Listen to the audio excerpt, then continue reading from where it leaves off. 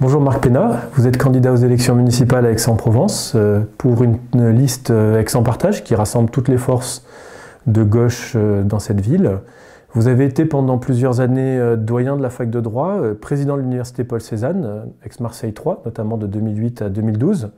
Pour beaucoup de citoyens aixois, la question se pose, comment on devient tête de liste, comment on s'engage après avoir été dans ces fonctions?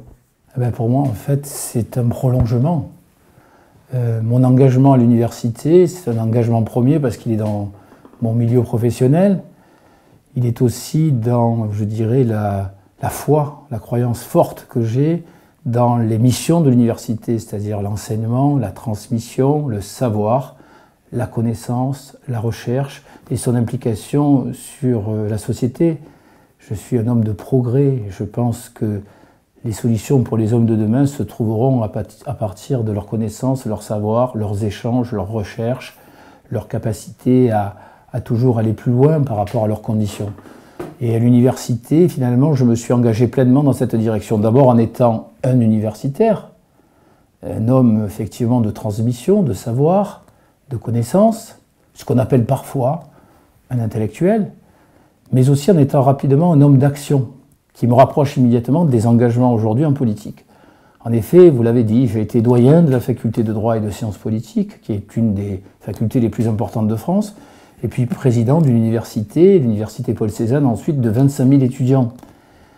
Euh, peut-être tout le monde ne le sait pas, mais je suis un élu, j'ai été un élu, j'ai été élu à la fois par mes collègues, enseignants-chercheurs, mais aussi par les étudiants, par le personnel administratif, et même d'ailleurs également élu par les personnalités extérieures qui comportent notamment euh, des représentants des collectivités territoriales et du monde de l'entreprise ou du monde euh, associatif et syndical de manière générale. J'ai été deux fois très largement élu et ça signifie une confiance qui a été donnée à la fois dans le projet que je proposais, mais aussi en étant d'une certaine manière réélu comme président d'université une forme d'approbation de la politique que j'avais menée. Je le disais, c'était une université de 25 000 étudiants, un budget, je le signale, de 150 millions d'euros, 150 laboratoires de recherche, 3500 personnels d'université à gérer. Au moment où en plus l'université était dans une phase où elle devenait de plus en plus autonome, elle avait à gérer son budget, elle avait à établir sa politique, elle avait en charge son personnel, et cette autonomie impliquait d'autant plus de responsabilités et impliquait vraiment d'avoir une politique universitaire qui ne soit pas simplement un relais de l'État. C'est ce que j'ai fait, je crois, avec réussite à la tête de cette université. Et le projet final, c'est un projet qui aboutit, dont il y aurait beaucoup à dire dans la réalité aujourd'hui, mais qui aboutit, qui est la réunion, la réunification, comme l'on veut, la fusion de trois universités, qui a débouché sur une université de 70 000 étudiants, de plus de 8 000 personnels, la première université francophone au monde, dont j'ai été, pendant quatre ans ensuite, là aussi élu par le conseil d'administration, le vice-président. Donc c'est aussi, après même la présidence de l'université Paul Cézanne, une responsabilité colossale que j'ai exercée.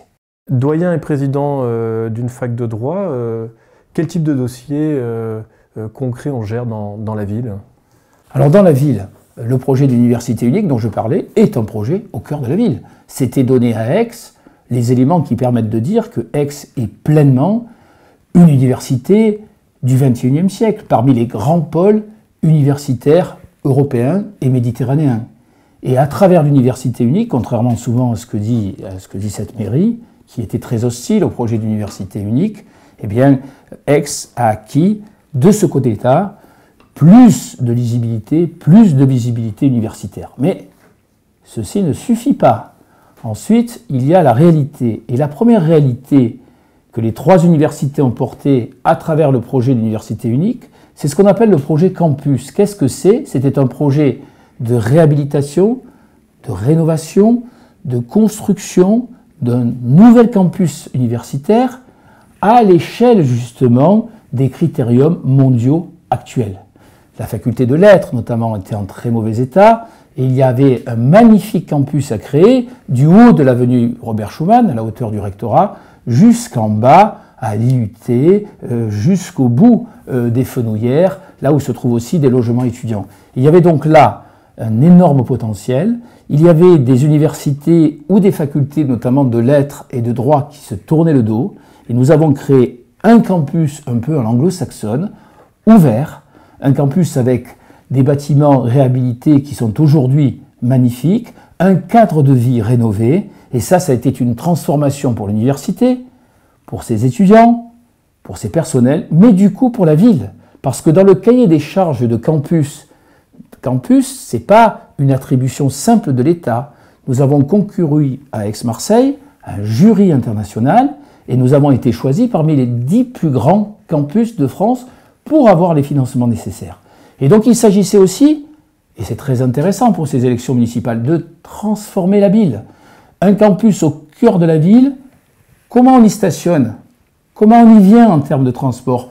Comment on y vit en termes d'équipement, que ce soit pour y manger, pour y travailler en termes de bibliothèque, etc. Et là, Campus a déclenché un aménagement du quartier des facultés, tel qu'il est aujourd'hui, et a déclenché aussi une réflexion sur les transports, des parkings relais, on peut penser au, parking Krypton, ou encore le bus à haut niveau de service, qui a trouvé sa place aussi dans ce projet campus. Donc ce que je veux dire, c'est que je n'ai peut-être pas l'expérience d'une mairie pour l'instant, mais j'ai une expérience en matière de responsabilité publique, de responsabilité collective en lien avec l'État, l'université, les collectivités territoriales de réalisation que beaucoup pourraient m'envier. Je ne veux pas oublier un élément extrêmement important, qui est le cœur des missions de l'université, les étudiants. Les étudiants, à Aix, comme ailleurs en France, je le dis sans embâche, ne sont pas bien traités. La France n'a pas conscience de l'effort qu'il faudrait faire pour l'université et notamment pour ses étudiants. Un étudiant sur deux travaille pour financer ses études. Le taux d'échec en première année, dans certaines disciplines que je connais bien, est de 30%. Ce n'est pas une fatalité. Ces éléments-là sont des indicateurs qui montrent que malgré des efforts dans certains domaines, l'université est insuffisamment prise en compte et surtout ses étudiants. Or à Aix, les affaires sont plus graves. La ville est chère, le logement est cher, la vie quotidienne aussi est onéreuse. Et ces étudiants, en fait, dont souvent la municipalité se targue, ils sont 40 000, ne sont pas véritablement dans la ville, ne sont pas associés dans la ville, vivent dans de mauvaises conditions, ont assez peu de lieux où se retrouver, où se réunir, et ce qui a manqué, ou ce qui est un manque dans le projet campus, c'est un campus un peu enfermé sur lui-même, pas en lien avec la ville, parce que la ville finalement ne s'est jamais véritablement préoccupée de ses étudiants. Pour ma part, j'ai toujours fait tout mon possible. Travailler avec l'État pour avoir le maximum de bourses. Trouver des formations professionnelles en apprentissage, de l'IUT jusqu'au master, pour que des étudiants qui étaient parfois modestes trouvent les moyens de bien se former, mais trouvent aussi les financements nécessaires tout au long de leurs études. J'ai aussi beaucoup travaillé avec le CRUS, qui est l'opérateur en matière de logement étudiant. Et nous avons pu augmenter relativement, il en manque encore beaucoup, ou rénover ce logement étudiant de manière substantielle. C'est une politique très volontariste qu'il faut mener entre l'université, l'État et les collectivités territoriales. Et il me semble que demain, dans cette municipalité, il y a encore beaucoup à faire en direction des étudiants. Il faut plus les impliquer dans la ville. Et il faut en retour mieux les accompagner dans un certain nombre de domaines, parce que ce que je constate, ce que j'ai constaté en tant que président, c'est qu'alors que nous étions positionnés sur des formations d'excellence, parfois les étudiants préféraient aller à Montpellier ou à Nice plutôt qu'à Aix, parce que les conditions à Aix étaient moins bonnes, et ça je peux l'affirmer. Marc Pena, vous êtes initialement un, juriste et vous venez de, la fac de droit. Cette fac est euh, associée à une image très à droite, très opposée euh, à la fac euh, d'économie plutôt à gauche. comment il est possible de travailler dans une fac de droit, d'être élu d'une fac de droit et de porter une liste de gauche? Quand j'ai été élu doyen en 2004, président en 2008, tout le monde connaissait mes convictions politiques. Tout le monde le savait, peut-être parce qu'on en parlera un peu plus loin, parce que j'ai eu un engagement public, euh, politique, à l'échelon national, avant même mes engagements universitaires. Dans cette ville, dans cette ville, euh, la faculté de droit est vue effectivement comme une faculté conservatrice. Elle a été vue longtemps ainsi. Le fait qu'elle m'ait élu, ensuite qu'elle m'ait choisi aussi largement comme président, montre qu'elle est beaucoup plus complexe que ce que l'on croit. Et mes collègues m'ont fait confiance sur des critères de compétence, m'ont fait, confiance sur des critères de probité, d'honnêteté, m'ont fait confiance, je pense, à la capacité que j'avais à réunir au-delà des différences politiques, à rassembler, comme nous le faisons dans Aix en Partage. Je crois que c'est un élément extrêmement important. Ensuite, de manière très claire, oui, j'ai changé beaucoup de choses à la faculté de droit. J'ai changé des choses concernant les formations, euh, j'ai changé des choses en introduisant au sein de la faculté de droit des éléments relevant de la culture, euh, du, d'activités sociales qui n'existaient pas forcément avant, en associant plus le personnel, en associant plus euh, les étudiants de manière générale. C'était parfois évidemment des batailles, mais dans l'ensemble, mes collègues m'ont toujours fait confiance, je les en remercie, et c'est pour moi véritablement un premier, un premier honneur en quelque sorte. Voilà.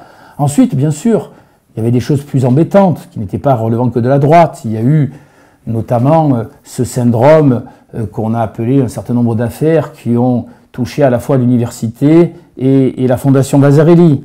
Euh, on le sait, c'est allé en justice, ça a dégradé l'image de l'université, de certains qui la dirigeaient. Et lorsque je suis arrivé aux affaires, il y avait en quelque sorte un blocage sur cette question. Mais à travers cette question, c'était l'image même de l'université qui était atteinte. Voilà. Et il m'a semblé essentiel et premier de rétablir à Aix une confiance entre l'université et la cité, et notamment entre l'université et la Fondation Vasarely. Je suis, je pense qu'il ne sera pas gêné que je le dise, je suis très ami avec Pierre Vasarely. Sur quoi ça s'est fait? Sur le fait que pour lui, il était essentiel, en tant que petit-fils de Victor Vasarely, de retrouver ce lien premier avec l'université, parce que son père avait souhaité un art tourné vers la ville, vers la vie, vers la rue, et aussi vers tout ce que représentait l'université. Et ce lien était brisé. Et donc pour euh, Pierre Vasarely, il était important de retrouver cette vocation. Et il a trouvé en moi un interlocuteur qui avait le même objectif du côté de l'université. Donc on a, on a liquidé le passé, au bon sens du terme. On est reparti à zéro. On a signé une convention très riche avec des coopérations dans des tas de domaines.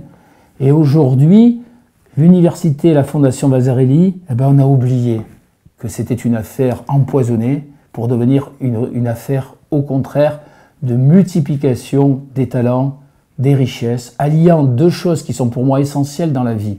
D'un côté, la formation l'université, de l'autre, la culture et l'art. L'université, c'est aussi la recherche. Et euh, dans cette ville, euh, lorsqu'on parle de savoir ou lorsqu'on parle euh, d'université, on a l'impression que c'est un gros mot et que c'est quelque chose de très éthéré. Est-ce que vous auriez des exemples de ce type de recherche que vous avez eu à gérer? Oui, je parlais de l'opération campus. L'opération campus a concerné le quartier des facultés. Et pourtant, il y a un campus à visibilité internationale, un campus d'une grande importance à Aix-en-Provence, c'est le campus qui se trouve sur le plateau de l'Arbois. Pourquoi ce campus est important? Parce que d'abord, scientifiquement, il est promet dans le domaine des, sciences de la Terre, des sciences de l'environnement et du climat de manière générale. Quand on sait évidemment quels sont les défis d'aujourd'hui et de demain pour nos sociétés, on comprend l'importance de ce campus. Il a des équipements qui ont été reconnus comme des équipements d'excellence et qui ont été financés à un très très haut niveau il accueille des chaires au Collège de France, c'est-à-dire des meilleurs professeurs en France et souvent en Europe dans ces domaines. On a un laboratoire qui s'appelle le CEREG, qui est un laboratoire essentiellement tourné vers les sciences de la Terre, qui est à vocation mondiale. Les équipements scientifiques dont je parlais, c'est des équipements scientifiques qui permettent de dater euh, les évolutions de la Terre, qui permettent de prévenir les risques sismiques, qui permettent de connaître le cours de l'eau, où elle va, comment elle évolue. Vous comprenez à quel point c'est important aujourd'hui, qui permet également euh, d'adapter euh, les différentes étapes du climat sur la Terre et son évolution pour aujourd'hui et pour demain. C'est absolument considérable. Euh, certains des scientifiques, pour le dire de manière un peu médiatique, ont été dans les commissions Borloo, ont été dans les initiatives avec Nicolas Hulot, ont eu en plus cette reconnaissance-là et ces responsabilités. Qui le sait Aix Le sait à Comment se fait-il que dans cette ville, dans ce territoire, on ne sache pas valoriser à ce point un campus? Je vous donne un exemple. Il est connu, et pourtant, sans être médisant à son égard, il n'a pas la même qualité scientifique. Vous avez euh, le, le, campus Sophia Antipolis, près de Nice. Il a une notoriété plus grande que l'Arbois, et pourtant c'est à l'Arbois que les choses se passent en matière scientifique. Alors l'université a ses responsabilités. J'ai été le président qui est porté le plus possible l'Arbois. Dans mon comité de soutien, il y aura des scientifiques qui viennent sur la politique que j'ai menée à ce moment-là. Mais je n'ai pas été suivi des faits après. Donc l'université a ses responsabilités, elle aurait dû aller plus loin pour mieux positionner le plateau de l'Arbois, parce qu'en plus il est situé magnifiquement entre Aix et Marseille, et si les transports étaient à la hauteur, il serait vraiment un nœud gordien pour tout le territoire. Ça c'est un point, je crois, extrêmement important. Mais le département, la métropole, la ville n'ont pas été à la hauteur des enjeux. Elles ont géré ça à la petite semaine, sans se rendre compte des enjeux que pouvait porter l'Arbois. À l'Arbois, il y a aussi des entreprises, il y a des start-up, il y a ce que l'on appelle le transfert de technologie qui va de la recherche à l'innovation, à l'économie, à l'entreprise, aux emplois, au savoir, au progrès, au développement économique et social harmonieux. C'est tout cela la chaîne de l'Arbois. Aujourd'hui, à l'Arbois, il manque non pas du terrain, il est là, il manque des bâtiments pour accueillir d'autres équipements, il manque des logements étudiants pour que ça devienne beaucoup plus un campus étudiant.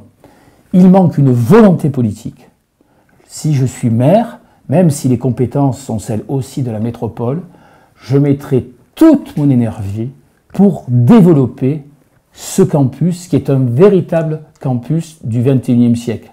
Et si vous situez l'Arbois aussi par rapport à toute cette zone qui va des Milles à la Durane, vous avez là un pôle métropolitain pardon, très important, un lieu de vie où il y a de l'emploi, où il peut y avoir aussi de l'habitation, où il peut y avoir de la vie sociale au sens large du terme. Il y a un vrai projet à porter ici. Ça n'existe pas. Ça doit se faire entre Aix et la métropole. Demain, là aussi, j'aurai un engagement extrêmement fort dans ces domaines pour les entreprises qui emploient, pour les employés qui doivent avoir les transports en commun et les lieux de vie adéquats, pour que ce territoire change de sens et là aussi devienne comme disent les urbanistes, multifonctionnel, et non pas comme aujourd'hui, un endroit où difficilement on y va travailler et où on repart en voiture dans des embouteillages monstres. Vous parlez de la métropole. Euh, c'est un dossier que vous avez eu à gérer, euh, notamment dans la question de la fusion des universités. Et euh, c'est un sujet qui est central dans la campagne de votre principale concurrente, qui est Marie Joissin, euh, qui a fait de la dénonciation de la métropole son euh, euh, cheval de bataille principal. C'est quoi votre position sur la métropole? C'est quoi votre analyse de la métropole? Alors, je vais vous dire ce que, en gros, pour moi, la métropole devrait être et ce qu'elle ne doit pas être. on va commencer, comme souvent dans la vie, par ce qu'elle ne doit pas être. Elle ne doit pas être ce que malheureusement est devenu, en partie, le projet d'université unique que j'ai porté, et qui a fait qu'au bout d'un moment, je m'en suis retiré. Elle ne doit pas être une grosse structure administrative, technocratique, centralisatrice, une couche de plus qui vient exercer une forme de tutelle aveugle sur nos communes. La base de la vie démocratique, selon moi, c'est la commune. La base de vie première de proximité, c'est la commune. Il faut non seulement la sauvegarder, mais il faut la développer avec des outils démocratiques nouveaux. Donc si la métropole vient enchevêtrer ses compétences mal comprises à celles d'une commune, La proximité se perd pour la commune et la métropole gère des problèmes qu'elle n'est pas en capacité à gérer et elle le fait de manière technocratique, managériale, centralisatrice. C'est le cas aujourd'hui dans la métropole telle qu'elle est et c'est malheureusement le cas et de plus en plus le cas à l'université d'Aix-Marseille. Que doit être alors la métropole Comme ce que j'avais espéré pour l'université, un outil de coopération, un outil d'ordonnancement, un outil qui permette en fait de développer les projets stratégiques d'un territoire, c'est-à-dire selon un principe simple, qu'est-ce qu'on peut faire en commun de mieux que ce que l'on pourrait faire tout seul C'est ça une métropole euh, du XXIe siècle. Ceci demande une réflexion stratégique, une réflexion politique. Ceci demande aussi, vous avez raison de le dire, que l'on n'ait pas une attitude de retrait et de repli à l'égard de la métropole. On doit en être acteur. La politique de Marie Joissin de la chaise vide a abouti à quoi? À ce que Aix ne soit pas dans les grands débats métropolitains, ni dans sa représentation au Conseil métropolitain, ni dans les grandes affaires de la métropole. On reproche à la métropole d'être marseillaise, mais la nature a horreur du vide. C'est à Aix de prendre ses responsabilités. Je donnais l'exemple tout à l'heure de ce pôle au Mille, l'Arbois, la Durane, qui pourrait être un pôle métropolitain. Donc on doit investir la métropole. On doit en faire un lieu politique pour les grandes affaires, en laissant, par exemple, à la municipalité le contrôle de sa voirie, par exemple, le contrôle, euh, je dirais, de sa propreté, euh, euh, le contrôle, je dirais, des éléments qui font le lien communal premier. Pourquoi les piscines d'Aix impliquent-elles que la métropole soit compétente en la matière? Les équipements sportifs pourraient être rendus aux communes à un certain nombre de conditions. La métropole n'est pas faite pour ça. En revanche, comment se fait-il qu'on soit encore si peu euh, mature en matière de transport, comment se fait-il que sur les grands domaines de l'environnement, de l'écologie, de la recherche, de l'université, on ait une métropole impotente? C'est un vrai problème. La métropole, ça ne doit pas être un syndicat de maires où on se partage quelques sous. Ça doit être véritablement un lieu stratégique qui nous permette, en fait, de rendre plus puissantes nos communes, leur permettant de trouver l'échelle qui leur permet le développement tout en assurant la proximité, la démocratie à l'échelon de la commune. Vous avez été, euh, il y a une vingtaine d'années, euh, engagé dans une campagne présidentielle aux côtés de, Jean-Pierre Chevènement. Et c'est pourtant lui qui avait amorcé les intercommunalités en, 1999. Euh, est-ce que vous pensez que la loi a été dévoyée, que la loi est allée trop loin elle a été dévoyée, vous avez raison, parce que l'intercommunalité, comme le nom l'indique, c'était la coopération entre les communes, c'est ce que je viens de le dire, à des échelles territoriales d'ailleurs qui n'étaient pas innocemment euh, dessinées, c'était des lieux de vie correspondant euh, au travail, au bassin d'emploi, correspondant aussi à l'endroit où les gens se logeaient, où se trouvaient les écoles, les équipements sportifs, euh, éventuellement, lorsque c'était le cas, les établissements d'enseignement supérieur c'est ce qui faisait en quelque sorte l'échelle des coopérations communales. Une échelle souvent d'ailleurs qui était moins monstrueuse ou large que celle d'une métropole. Je pense que surtout la déviance vient d'une chose très simple, et ça vaut pour beaucoup de gouvernements. Alors que c'était un outil de coopération qui en fait permettait, selon moi, plus de décentralisation effective, ça a finalement été un outil de centralisation parce que la métropole telle qu'elle a été conçue, remplaçant la coopération des communes, ça a permis à l'État de penser qu'il pouvait faire des économies d'échelle, qu'il pouvait avoir une administration plus déconcentrée que décentralisée et qu'il mènerait mieux les affaires que les communes elles-mêmes. C'est une très grave erreur. La philosophie de la, philosophie de la loi de Jean-Pierre Chevènement, c'était au contraire des communes assez matures pour décider ensemble dans quel domaine elles voulaient coopérer ensemble. C'est exactement l'inverse. Et donc de ce côté-là, pour revenir à mon engagement politique auprès de Jean-Pierre Chevènement, je pense que cette loi était une loi d'importance et il faudrait aujourd'hui au moins, dans des conditions différentes, en retrouver l'esprit. Quant à Jean-Pierre Chevènement, ça me permet de dire un mot. Oui, ça a été mon engagement politique premier. Vous voyez, à la fac de droit, on savait que j'avais un engagement de gauche. un engagement de gauche républicain, très lisible, très ferme, surtout à l'époque. Qu'est-ce que Jean-Pierre Chevènement a été pour moi? En quoi il a été important? C'est un républicain. Pour moi, la République, ce n'est pas une coquille vide. La chose publique, c'est faire passer l'intérêt général, c'est faire passer le bien commun au-dessus des intérêts particuliers. Si on l'appliquait à Aix aujourd'hui, cela donnerait une toute autre politique que celle qu'on nous sert tous les jours. Au laisser faire, laisser passer, je préfère le cadre de l'intérêt général qui permet à la liberté, mais aussi tempéré par l'égalité, de se développer à l'échelon d'une société, d'un pays, d'un territoire, d'une commune comme Aix-en-Provence. Je pourrais développer toutes les conséquences. Je reviens en un mot à Jean-Pierre Chevènement. Jean-Pierre Chevènement, c'est aussi l'homme de la loi, le respect de la loi. Non pas la loi injuste, non pas la loi qui opprime, mais au contraire la loi qui permet l'équilibre entre le fort et le faible. Je vous donne un exemple qui est aujourd'hui dans l'actualité. Jean-Pierre Chevènement a essayé, d'une certaine manière, de trouver un cadre qui permettait à nos concitoyens de religion musulmane de pouvoir exprimer leur foi de manière tout à fait, je dirais, euh, naturelle dans l'espace public républicain.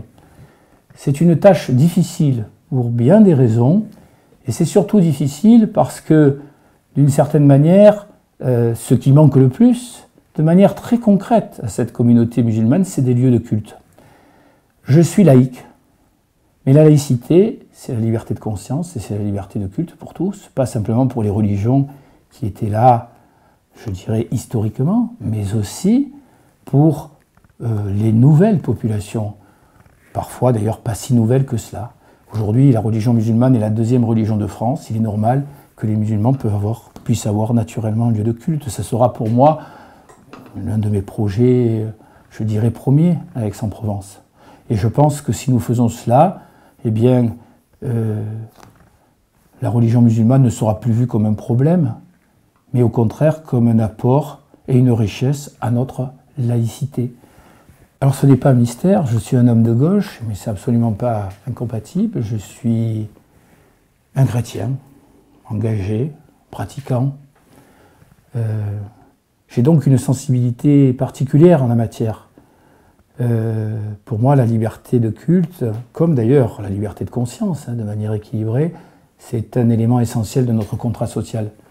Pour ce qui est euh, des mosquées, il y a évidemment la formule du bail emphétéotique, hein, à 99 ans, qui permet de manière tout à fait paisible, dans le cadre des lois de la République et de la laïcité, de permettre le développement des cultes de manière, encore une fois, publique, équilibrée, ce qui évitera bien entendu ce que nous connaissons parfois aujourd'hui, des lieux de culte fermés, dans des caves, dont on ne connaît pas toujours l'origine et la maîtrise, et où là, c'est un exemple parmi d'autres, peut effectivement exister des foyers, on le voit bien aujourd'hui dans le contexte général d'évolution de nos sociétés, des foyers qui, eux, sont contraires à la laïcité et aux valeurs de la République. Agissons dans ce sens. Si nous mettons, si j'ose cette comparaison, un foulard sur le problème, on verra du noir, et quand on voit du noir, on ne voit rien. Il faut au contraire faire cela de manière sereine, républicaine, démocratique, selon les principes de la laïcité. Vous avez, dans, votre campagne, il y a plusieurs reprises, dit que vous vouliez faire d'Aix une ville euh, tolérante et une ville euh, ouverte. Qu'est-ce que ça veut dire quoi? Ça veut dire beaucoup de choses. Je pense que nous avons à Aix une ville qui, notamment par la politique municipale, est une ville compartimentée, éclatée, séparée. Les quartiers ne sont pas reliés entre eux. Ils ne sont pas considérés, mais traités différemment et de manière inégalitaire. Nous avons aussi beaucoup de lieux de discrimination de différentes natures qui d'une certaine manière, appauvrissent, atteignent au lien social de la cité, au lien social municipal et urbain. Et pour ma part, je pense que là-dessus, nous devons avoir une toute autre politique municipale. Non seulement on doit relier les quartiers et leurs habitants, les considérer non seulement de la même manière, mais sans doute avoir des politiques actives pour rattraper un certain nombre de retards dans les quartiers euh, défavorisés, mais on doit lutter contre toutes les formes de discrimination dans cette ville. Aujourd'hui, la municipalité, j'ose le dire, utilise l'inégalité, utilise les différences pour établir son clientélisme avec beaucoup de cynisme et avec un très grand mépris à l'égard de ces populations. Voilà pourquoi je crois que la situation est grave. En France, d'autres villes donnent de tout autres exemples. Je voudrais vraiment qu'Aix, qui est une ville de culture au rayonnement international, une ville universitaire de premier plan, trouve dans ses pratiques politiques, dans son lien social, eh bien, je dirais la même exigence. Ce n'est absolument pas le cas aujourd'hui. Du coup, cette ville, par ailleurs, c'est une ville qui doute d'elle-même et qui, d'une certaine manière, s'éteint. Une partie de ses problèmes ne sont pas que des problèmes économiques, sociaux, d'urbanisme, ils sont aussi des problèmes d'ambiance générale. Je trouve qu'Aix se provincialise, je trouve qu'Aix se banalise, je trouve qu'Aix devient beaucoup plus une ville de rente qu'une ville dynamique. Pourtant, autour d'Aix, le tissu économique est extrêmement vivant. Mais les classes moyennes ne peuvent plus se loger à Aix à cause de la cherté de la vie. Elles ont des transports difficiles et il y a en quelque sorte une fuite de ce qui ferait euh, le dynamisme de la ville. En revanche, se multiplient, selon les cas, euh, des logements de rente, des logements voués à un tourisme saisonnier. On peut comprendre cette activité, mais la municipalité doit équilibrer les choses, elle doit développer le logement social, elle doit trouver les moyens d'accessibilité à la propriété pour les classes moyennes qui soient beaucoup plus, comment dire, beaucoup plus appréhendables par ces jeunes ménages. Il y a des outils que la municipalité peut développer, je ne vais pas peut-être les expliquer ici, mais voilà des éléments aussi extrêmement dynamisants pour la ville. Je veux vraiment une autre ville que celle qu'on nous propose aujourd'hui. J'ai inauguré aujourd'hui mon local de campagne. J'ajouterai une chose, j'étais en plein centre-ville. Ce centre-ville est un centre-ville lui aussi en crise, notamment dans ses commerces. Les librairies ferment les commerces anciens également, et ce qui gagne, c'est les marques.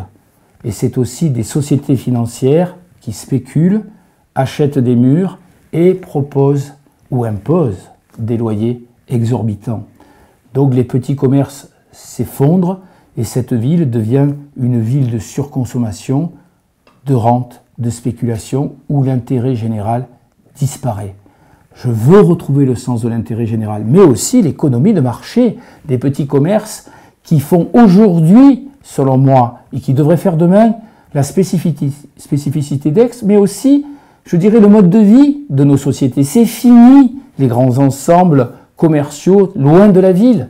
Aujourd'hui, on a besoin d'avoir des commerces où se développe, on dit, le bio, le bien manger, le bien vivre, et dans d'autres domaines, je le disais, la culture et bien d'autres activités. Cette humanité retrouvée, ce partage, cette économie et cette société différente que porte notamment, par exemple, pour Aix, un projet écologique et que nous portons, eh bien, il est possible de le faire au niveau commercial, mais par une volonté très forte le laisser-faire et le laisser-passer de cette municipalité, qui lui, tient lieu de qui lui tient lieu de politique, explique tous les accommodements et explique que les puissants, et notamment les puissances d'argent, imposent de plus en plus leur loi des reins sur cette ville, et ça, je veux absolument le changer. Vous avez évoqué euh, parfois euh, euh, le cas de l'exposition Camus.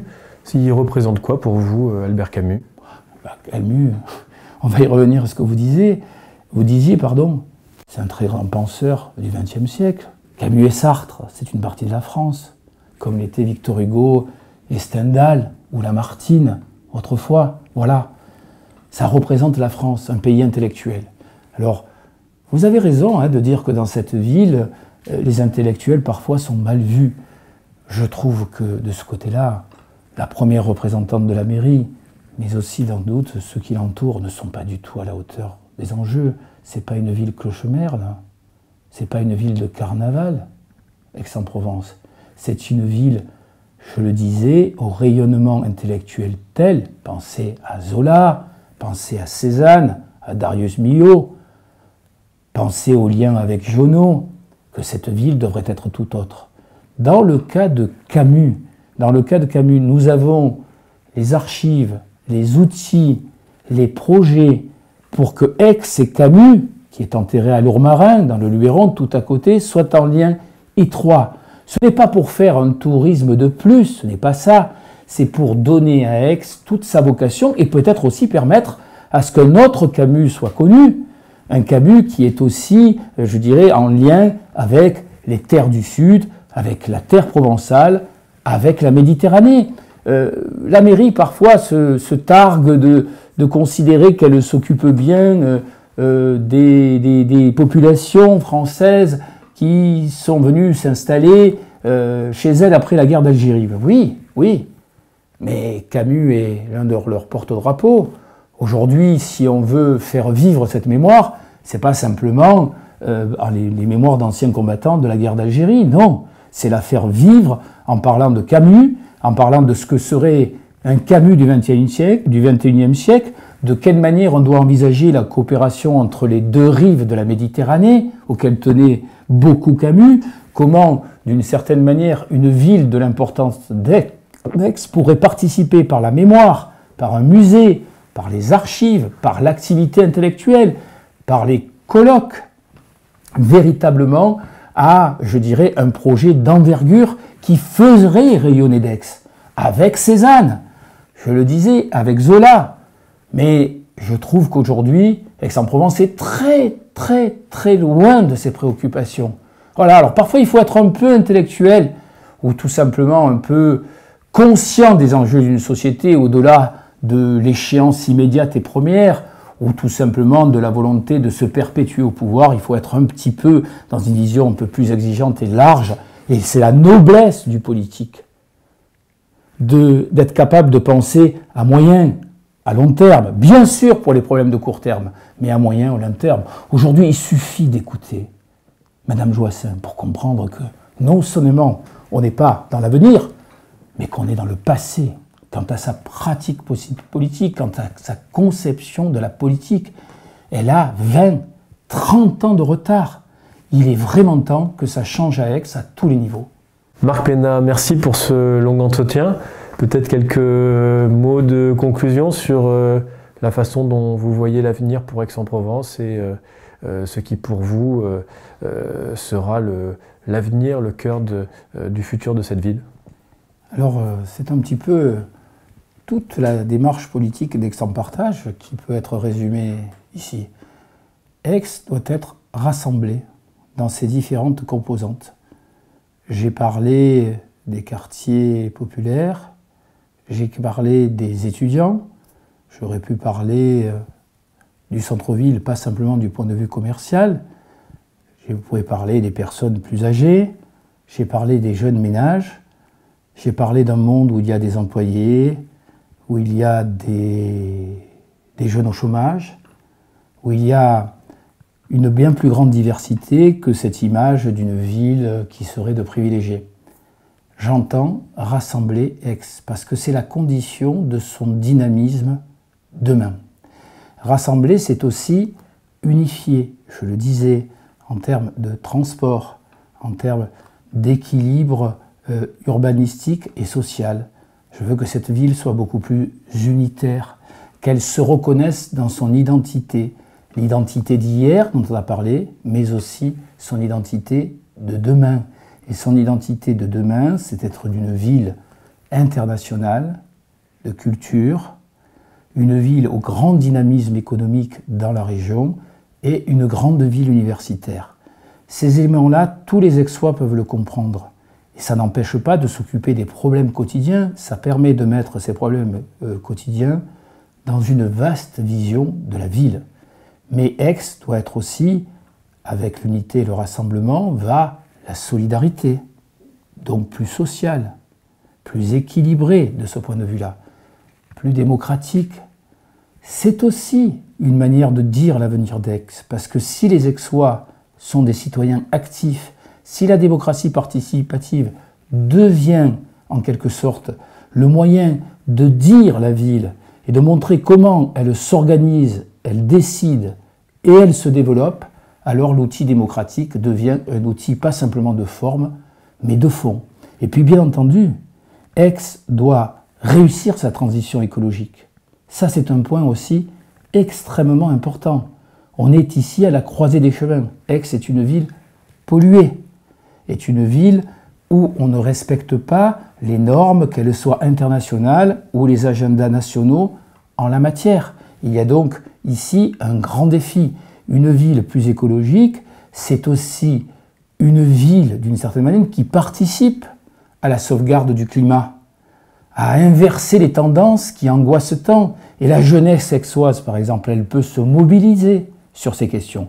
Mais l'environnement, ça concerne aussi tous les jours tout le monde, y compris les personnes âgées, dans leur souci de propreté, euh, dans le souci d'avoir une ville moins bétonnée, d'avoir une ville où il y ait des jardins euh, partagés, une ville où l'on puisse circuler à pied ou à vélo de manière naturelle.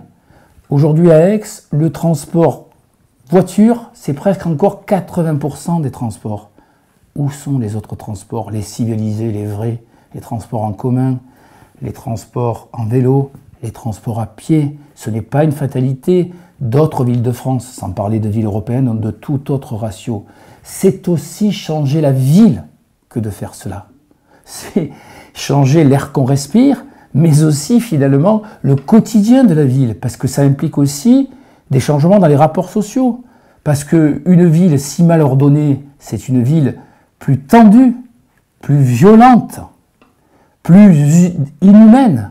Alors qu'à l'inverse, un projet écologique partagé avec le social et la démocratie, c'est une manière au contraire de donner de la qualité au lien social, d'apaiser, de faire finalement ressortir le partage, l'écoute, l'équilibre, euh, la modération, et non pas la compétition, la concurrence, la violence, la délinquance, parce que ça a l'air différent, mais c'est toute une atmosphère et toute une politique qui font une ville très différente selon les cas de figure. Moi, je regarde vers des villes qui sont aujourd'hui des villes extrêmement dynamiques, extrêmement fortes. Je ne regarde pas vers une ville qui aurait peur d'elle-même, qui serait tournée vers elle-même, qui ne serait même plus ce qu'elle est véritablement, ou qui ne verrait que sa caricature. Et la caricature d'Aix aujourd'hui, c'est Madame Joissin.